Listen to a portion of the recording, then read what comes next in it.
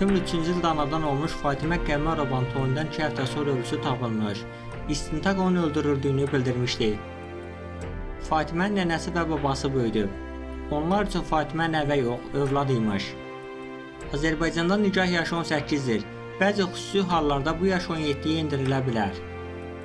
Ailə məcəlləsinə görə üzürlü səbəblər olduqda nikah yaşına çatmamış şəxslərin yaşadıkları ərazi müvafiq icra hakimiyyəti orqanı onların xahişi ilə nikah yaşının bir ildən çox olmayaraq azaldılmasına icazə verə bilər. Fatimənin isə heç 17 yaşı tamam olmayıb. Fatimənin qaynanası iki övladını itirdiyini söyləyib. Mənə gəlin deyəndə hisslənirəm. Mənim balam öldü, canım ölsəydi kaş. Xatırladaq ki, 19 yaşlı Fatimə Qəmərova toyundan 20 gün sonra əri İmam Məmmədov tərəfindən boğularaq öldürülüb.